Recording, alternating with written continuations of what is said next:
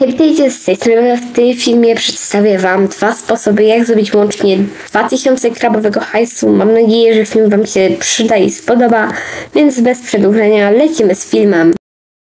Pierwszym sposobem jest wejście do sklepu i odebranie stamtąd tysiąca darmowego krabowego hajsu, który na Was tam czeka od już pierwszego dnia od rozpoczęcia tego całego eventu. Jeżeli oglądacie ten film, mogę się założyć, że pierwszy sposób już wykorzystaliście, więc lecimy do drugiego, który jest troszkę bardziej skomplikowany, ale każdy z Was zapewne da radę to zrobić.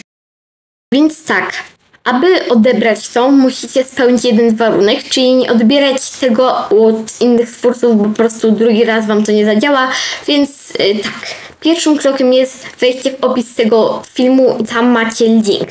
Klikacie w ten link i pokazuje Wam się takie okienko i klikacie odbierz nagrodę i przekierowuje Was do Brawl Stars.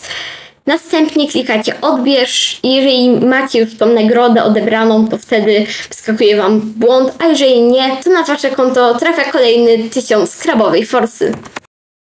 W komentarzu napisz na ile od 0 do 10 oceniasz tego skina do El Primo. Mam nadzieję, że film Wam się spodobał i widzimy się w kolejnym filmie. Kolejny będzie dłuższy na moim kanale. Hej!